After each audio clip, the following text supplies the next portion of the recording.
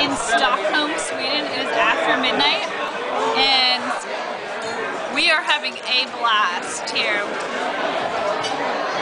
And some escargot over here, lobster soup, prawn salad, salmon, sandwich of some kind. A brisket, but Caesar is some flatbread over here, and some our bread and fish bread for our flatbread. What do you have to say about all this, Jordan? Wow.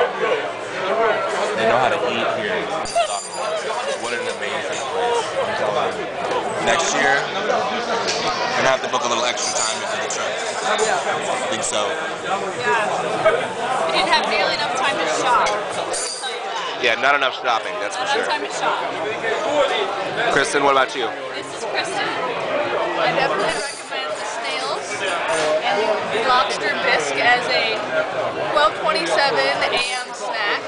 We've been traveling with uh, for the last 10 days or so in England, Southampton, Reading, and then Stockholm, Sweden, just seen hundreds of people healed, miracle signs and wonders, just phenomenal things. So we figured this would be a good way to celebrate. You know, nothing says celebration like a midnight meal, gourmet style in Sweden. Good friends, good company.